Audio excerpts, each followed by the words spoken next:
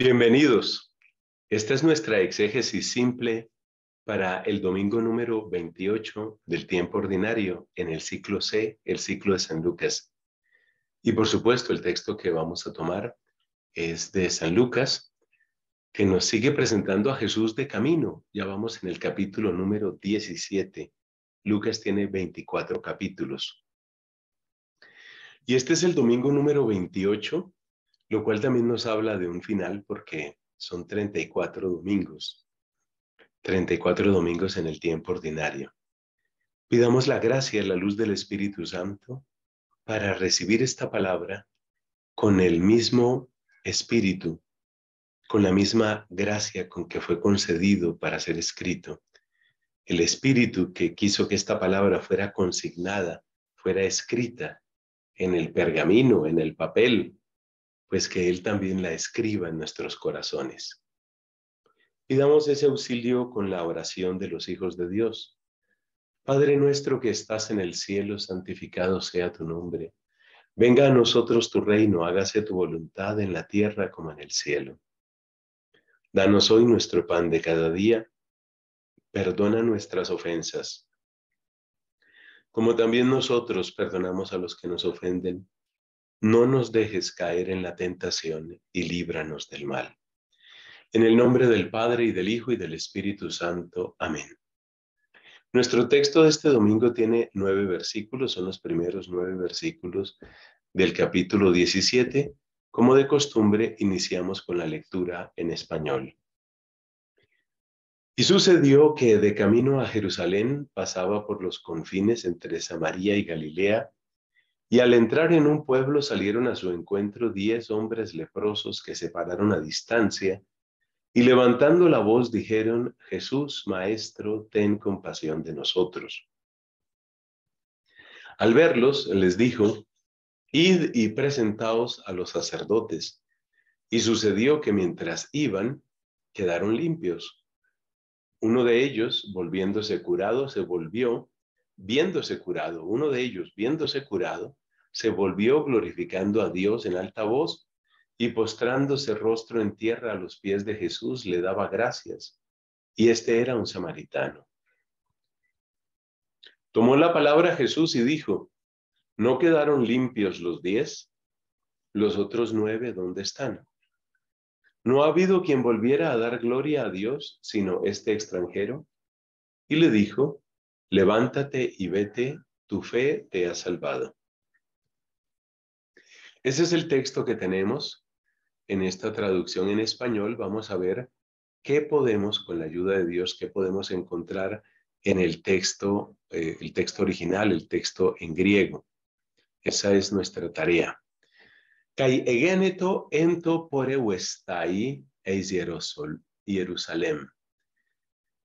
Bueno, ya hemos comentado en otras oportunidades que el evangelista Lucas es el que más utiliza este verbo. Esto corresponde al verbo poreuomai, que es el verbo del movimiento, el verbo de ir, el verbo de caminar. Ir o caminar, poreuestai. Es Jerusalén.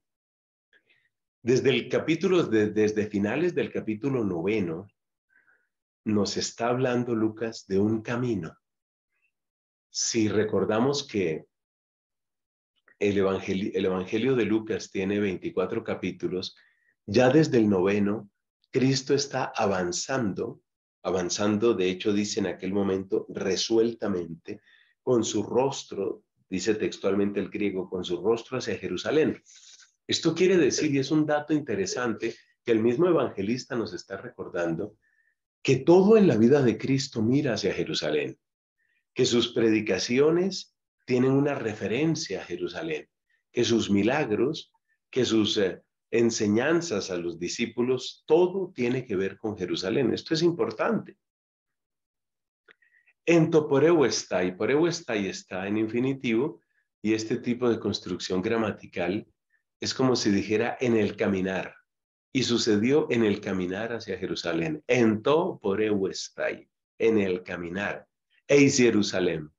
Ese Jerusalén lo tenemos en este verde intenso, este verde esmeralda, es el que utilizamos para los lugares, para los nombres propios, etc. Callautos Diérgeto, diameson, samarellas, kai galilayas. Y el diérgeto, diérgeto, pues es del verbo dierjomai. Eh, erjomai es otro verbo de movimiento, es, es ir, trasladarse, moverse, eh, caminar incluso.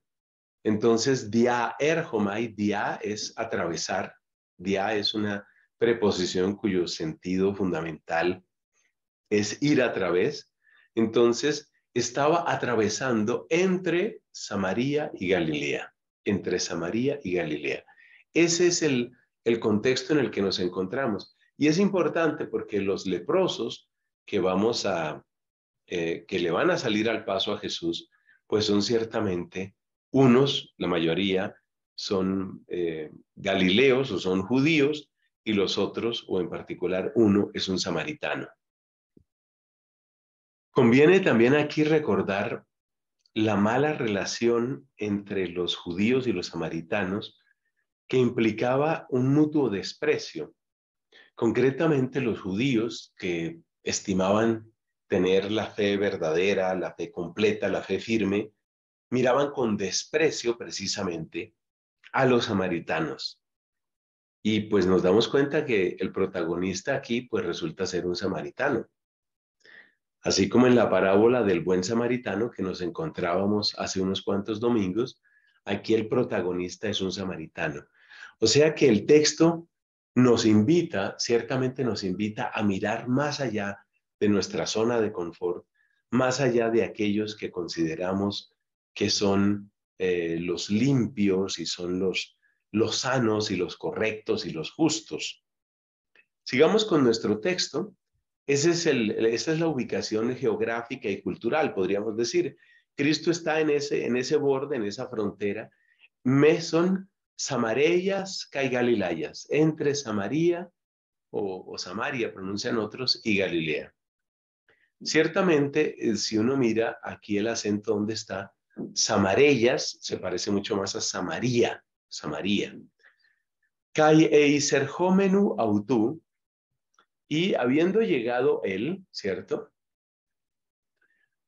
O, entrar eiserhomenu, esto es del mismo verbo eiserhomai. Antes teníamos dierhomai, aquí tenemos eiserhomai. Son verbos compuestos que resultan bastante comunes, especialmente en estas lenguas antiguas. Eiserhomenu autu y serjomenu es un participio que indica una acción que se ha concluido. Y al entrar o habiendo entrado, autú, él, eistina comen, tina significa algún, casi prácticamente funciona como un artículo indeterminado. Eistina comen, comen, comes es, es una aldea, es una población. Eistina comen, apentesan auto, deca leproi andres Hoy este san porrocen. Aquí es donde empieza propiamente la acción, propia la acción de este evangelio.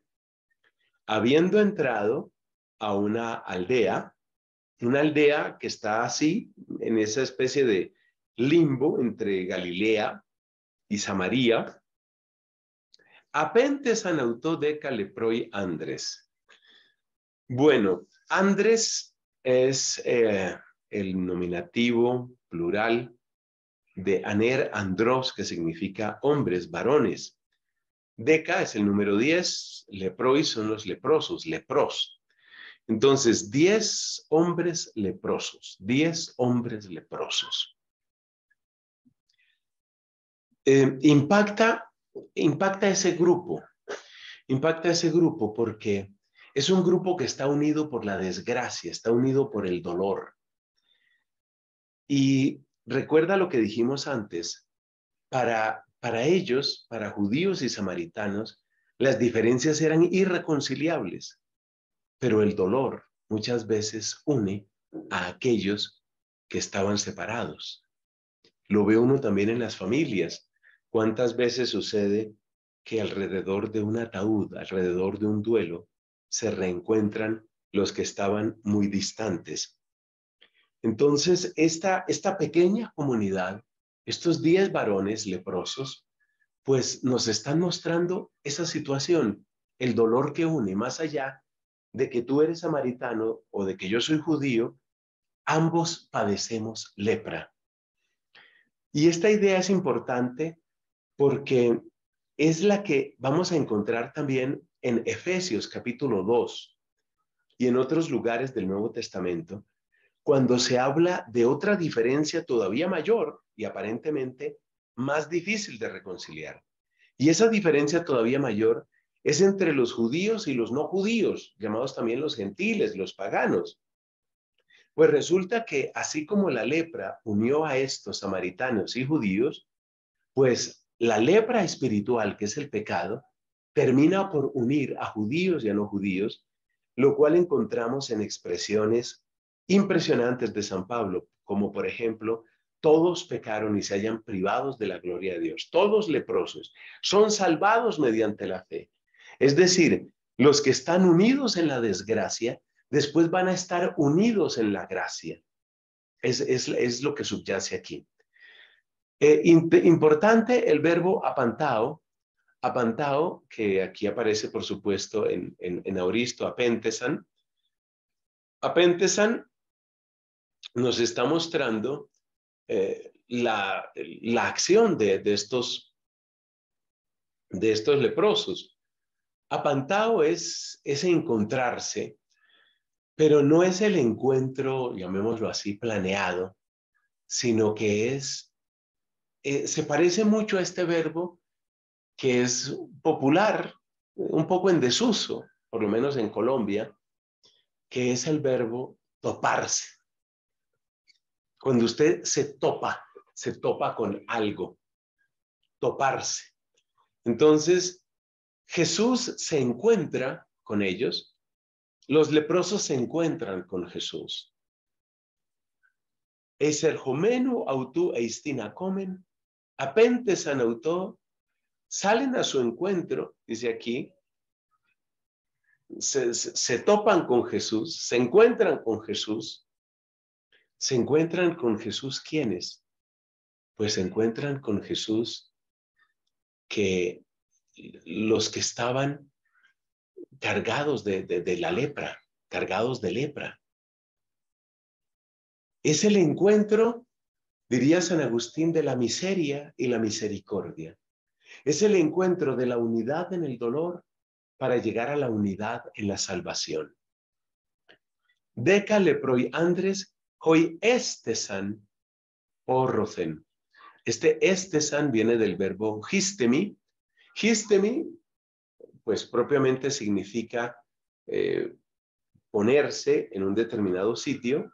Aquí tiene un significado como reflexivo, podríamos decir, y lo que está indicando es, es ese detenerse, situarse a distancia.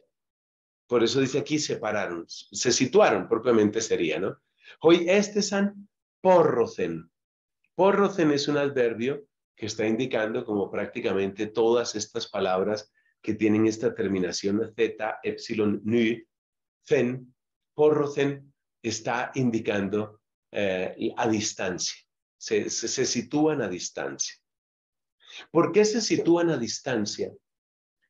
A ver, la necesidad les apremia para acercarse a Jesús, pero hay una disposición de la ley de Moisés que dice que el leproso tiene que estar separado de, su familia, separado eh, del resto de la comunidad, separado del resto del pueblo.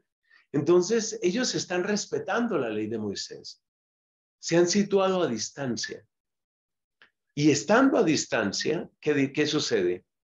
Kai autoi eran, este, este eran viene del verbo airo, Airo significa levantar, alzar, levantar.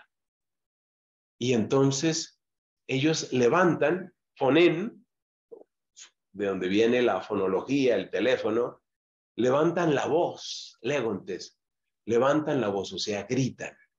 Callautoi eran fonen, a través de su voz, a través de su grito, salvan la distancia que la ley eh, estaba imponiendo La ley de Moisés imponía una distancia, pero esa ley de Moisés no prohibía gritar, y esto es lo que ellos hacen. Ellos gritan, su voz, su angustia, su súplica puede cubrir la distancia que la ley de Moisés imponía. Y esa, ese grito, esa súplica, esa súplica es la que llega a oídos de Cristo. Le invocan diciendo, Jesús. Jesús ahí está en vocativo. Epistata.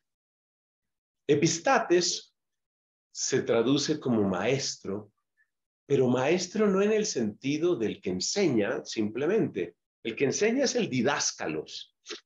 Es el didáscalos. Ese es el, el, enseñante.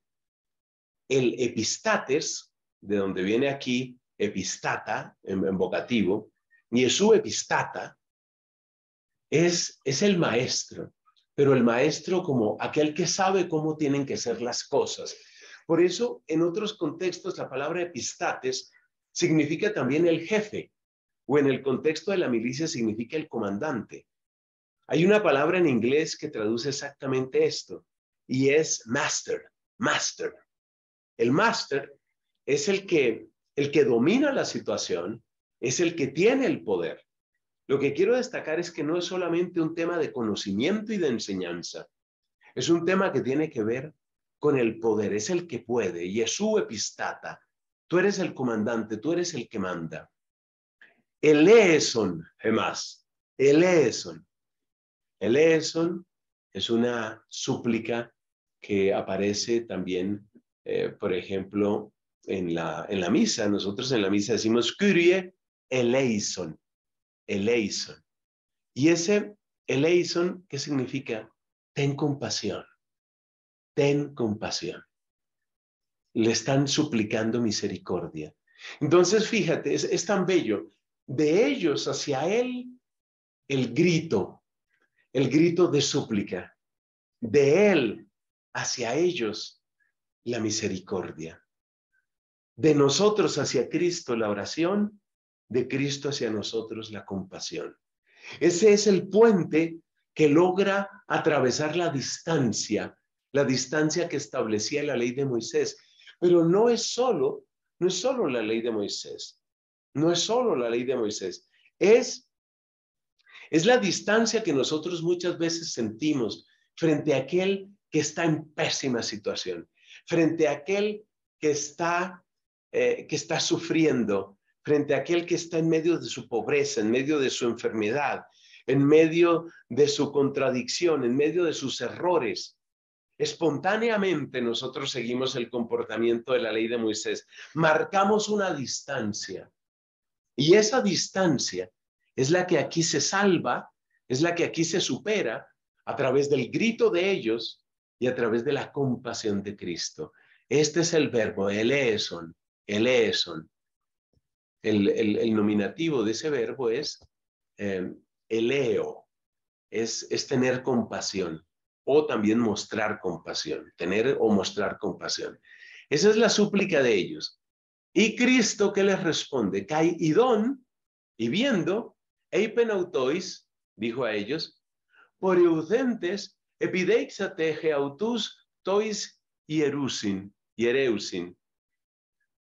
Y viéndolos, ¿cierto? O al verlos, Eipenautois les dijo, por eucentes, por eucentes, de nuevo del verbo por euomai, que es tan querido para Lucas, eh, es decir, de camino, de camino, epideixate, del verbo epideignumi.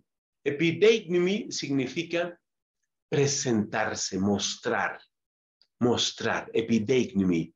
Entonces, por eucentes de camino mostraos, geautus, mostraos, mostrad a vosotros, o sea, mostraos, tois hiereusin, hiereusin. Hiereus ese es, es el sacerdote.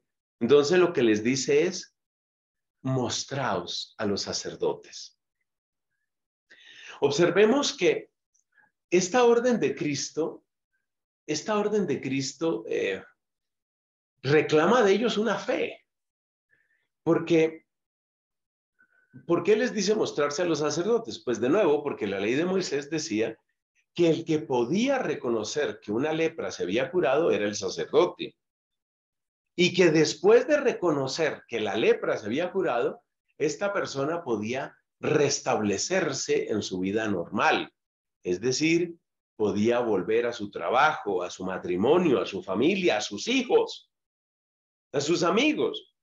Es que la lepra era una desgracia total en aquel tiempo porque la lepra implicaba perder toda relación humana, perder toda relación humana. Jereusin a los sacerdotes. Entonces, cuando Cristo les dice, vayan a presentarse a los sacerdotes, solo había dos razones para que un leproso se presentara a un sacerdote. Podía presentarse al sacerdote para que el sacerdote confirmara que lo suyo era lepra, o podía presentarse al sacerdote para que el sacerdote declarara que la lepra había sido curada. Evidentemente, Cristo les está invitando a que tengan fe y a que avancen para que, eh, para que se declare su curación. O sea que ellos se ponen en camino sin tener la curación. La frase que sigue precisamente nos muestra eso, que la curación sucede en el camino, lo cual es muy bello también. Hay una cantidad de simbolismos aquí hermosos, ¿no? La sanación sucede en el camino. O sea, no te detengas, sigue caminando porque en el camino está la sanación. En el camino te aguarda tu curación. Es algo muy hermoso. En el camino viene tu curación. Entonces les dice que se muestren a los sacerdotes, en lo cual hay una promesa de curación, porque claramente no les iba a decir, vayan allá para que les reconfirmen que lo suyo es lepra. O sea, reclama de ellos una fe. Ponte en camino sin estar curado para que caminando llegues a curarte. Es lo que Cristo les está diciendo. Y yo creo que es un mensaje también para nosotros, porque a veces nosotros decimos, no, es que no sé realmente, eh, no sé si, no sé si, si yo puedo eh, servir, por ejemplo, en la iglesia, pues porque yo soy imperfecto, porque, porque yo tengo muchos pecados. Y sí, desde luego que tienes muchos pecados, pero, pero aunque tengas muchos pecados, tú estás llamado, ¿estás llamado a qué? Estás llamado a seguir avanzando, porque el camino también te va a curar, el camino también te sana. Hay que seguir avanzando, no detenerse. Calleguéneto, sigue el texto, Calleguéneto en tu hipagein, hipago es un verbo que también hemos encontrado, que es marcharse, que es eh, empezar un camino, y de nuevo tenemos la construcción típica de Lucas con el infinitivo, en En el, en el marcharse, o sea, literalmente dice, y sucedió en el marcharse ellos, ekazaristesan, ekazaristesan. Kazarizo significa limpiar. Aquí está ekazaritz, ekazaristesan, está en voz pasiva, se nota por la famosa Z que tenemos acá, fueron limpiados, en el camino fueron limpiados, el camino te limpia, sigue avanzando, no te detengas en tu servicio a Dios, sigue avanzando, porque el camino te limpia. E de san, el camino te limpia. Y sucedió en el marcharse, en el avanzar, ellos que fueron limpiados. Observemos observemos toda la, digamos, la carga semántica, la carga significativa que tiene la, la lepra. Porque cuando se habla aquí de que fueron sanados, pues es tan bello pensar que si ellos fueron sanados, fueron limpiados, dice aquí. Y con todo lo dramático que tiene la lepra en la Biblia, decir que ellos fueron limpiados nos muestra que la lepra es como una suciedad que llega. Es algo en el fondo externo a ti. Me hace recordar lo del Salmo 103. Él aparta de nosotros nuestros delitos. Como dista el oriente del ocaso, dice el Salmo 103, Él aparta de nosotros nuestros delitos. Él aparta nuestros delitos. Entonces, Él quita de nosotros el pecado. El pecado en el fondo no es algo nuestro, o sea, sí es nuestro porque lo cometemos, pero el pecado, el pecado es algo que ha llegado a tu vida, pero eso no eres tú. Tú no eres tu pecado. Observemos cómo, eh, cómo aparece aquí en latín, quos ut vidit, viéndolos, dixit, les dijo, ite ostendite vos sacerdotibus, mostrados a los sacerdotes, el factum es dum irent mundati sunt, fueron lavados, fueron limpiados, fueron limpiados, limpiados por la palabra de Cristo, limpiados por el corazón compasivo de Cristo y limpiados por la fe que él le tuvieron, que le tuvieron a Cristo. Heis de exauton. Heis significa uno de ellos, uno de ellos. Heis, uno. El hecho de destacar que es uno, pues por supuesto muestra el contraste. Diez fueron los sanados y uno el que se vuelve dando la gloria a Dios.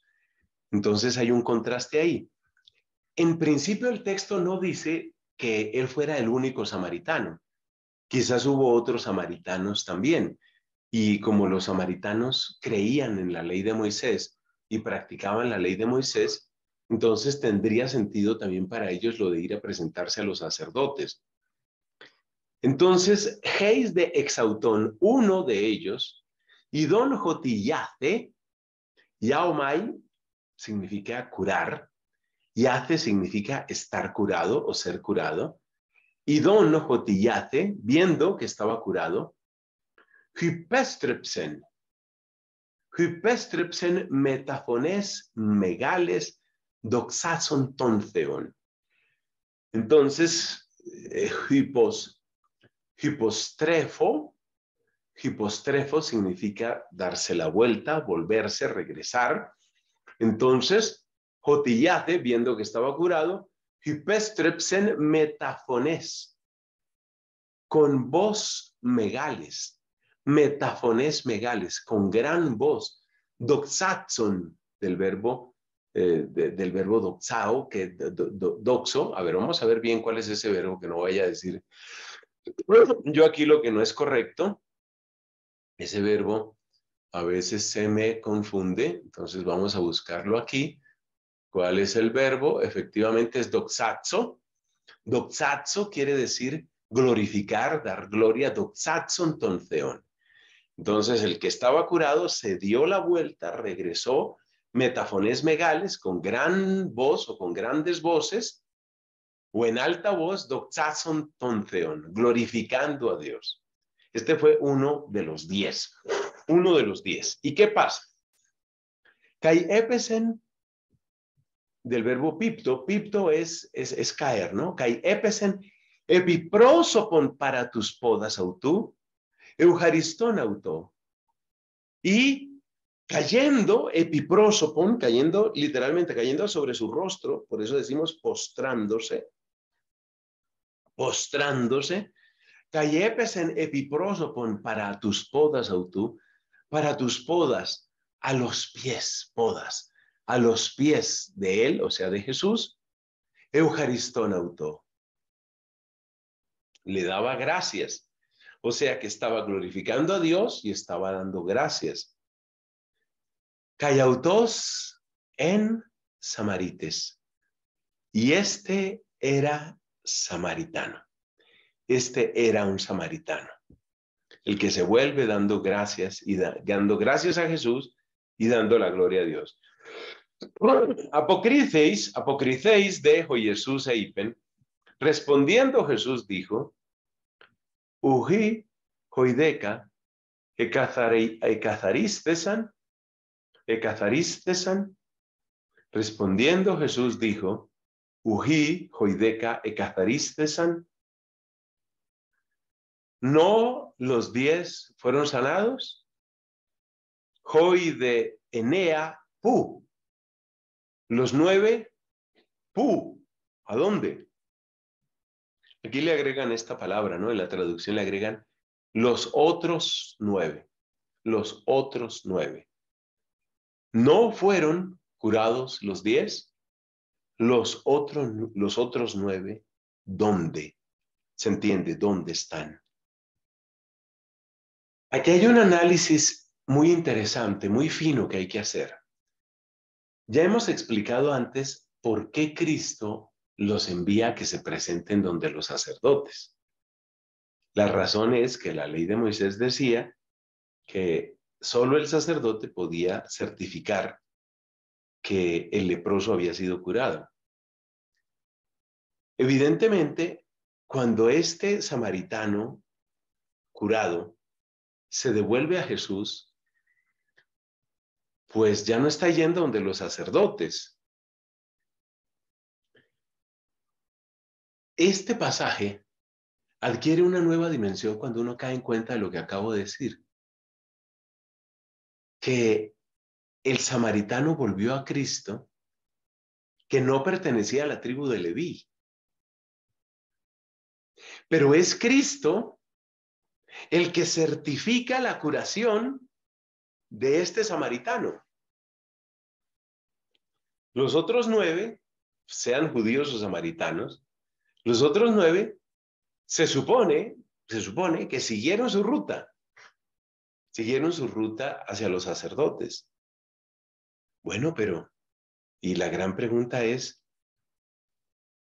¿y este que ha sido curado, de qué manera cumple el precepto de la ley, sabiéndose que no está volviendo donde los sacerdotes, no está yendo donde los sacerdotes, sino volviendo donde Cristo? La única respuesta lógica, si lo piensas, es que en Cristo reside toda dignidad sacerdotal. Toda dignidad sacerdotal está en Cristo. Y cuando este hombre regresa donde Cristo, al regresar donde Cristo, está también presentándose al sacerdote y ni más ni menos, sino según la carta a los hebreos, al sumo y eterno sacerdote. Y sigue diciendo Cristo, Ugeurethesan, hipostrepsantes duna y doxantotheo, eime ho alogenes jutos, Ugeurethesan. No se han encontrado hipostrepsantes, es decir, gente que se regrese. No se ha encontrado quien se regrese Dunai, del verbo dinomi, didomi, que significa dar, no se han encontrado quienes se regresen. Dunai doxantoceo, dando gloria a Dios. Eime, sino, o alogenes juntos. alogenes,